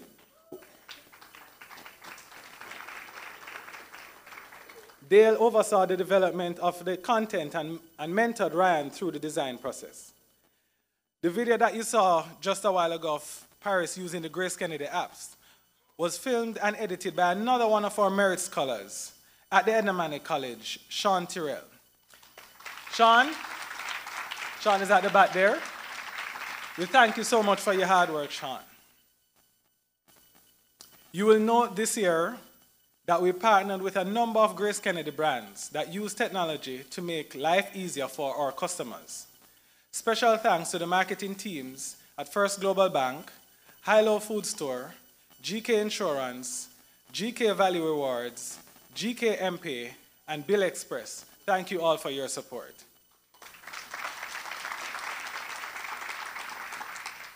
We're also indebted to the media for their support.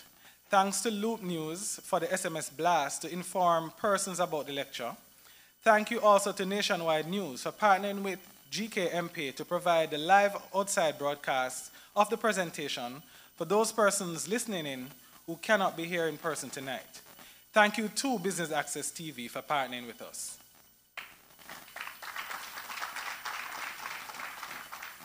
You will recall one of the slides Parris included in his presentation today was the one showing that the basic human needs and how that has changed. So remember the second need, the second most important need after our phone battery uh, was Wi-Fi, right? So it would be remiss of me not to acknowledge Flow for coming on board as a partner for this event to provide free Wi-Fi for all of us here at the Pegasus tonight. We must also express our thanks to those who have worked behind the scenes to prepare the attractive setting in which we enjoy the lecture. When you stepped in tonight, it was almost like stepping into a TED Talk or when you're going to launch a new iPhone, right?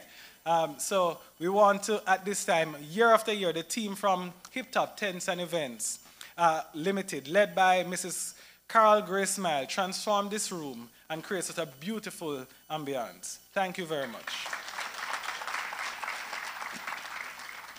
We thank Maxine Madonna, our public relations consultants, and the GraceKennedy corporate communication team, led by Cleo Bell Lewis, Aston Spalding for photography, Mark White and his team from Visual Tech Solutions, who provided the video and audio support and online streaming, the GraceKennedy staff and foundation scholars who volunteered as ushers today, and of course, our host, the Jamaica Pegasus Hotel, for, one, for a wonderfully convenient venue and the delicious refreshments that we will enjoy shortly. To our immediate family, the members of the GraceKennedy Foundation Board, we thank you for providing the support we need to perform. And to the members of the Secretariat, Executive Director Mrs. Caroline Mahfood, and the Foundation team who have worked unceasingly keeping their fingers in every pie to ensure that no detail was overlooked, we thank you very much. Most importantly, we thank each and every one of you for taking the time to be here, to be with us, and to contribute to the amazing energy and vibrancy of this evening's discussion. We thank you very much. There are a few housekeeping matters that we'd like to bring to your attention. Uh, please know that Parris will be here, available on stage for book signing at the end of the event. We ask that we, we line up to the left in an orderly fashion uh, so as to get your personal book signed. Please remember to complete the survey as well.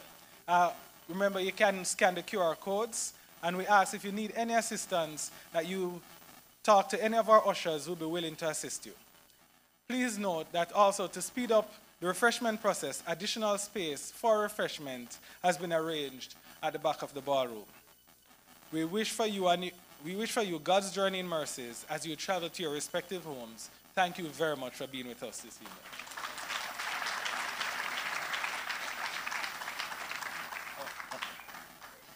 We have one more winner. Remember, Parris announced that if they crack the code, right? Well, actually, I have a whole team of kids that crack the code. I don't even have enough prizes for them, so I'm going to have to get some more after this. Come on up. You notice represented from many schools, many different schools. And the one woman. Yeah. Two, two. Sorry, I didn't see you earlier. So we'll show you what they're getting, but I'm short because I have five of these. So they're getting these Google glasses that they can actually do VR, virtual reality viewing with. So, but I want you guys to shout out. What's the code? No, loud, loud, loud. Right, that's what's on the book. That's the binary code on the book. So thank you.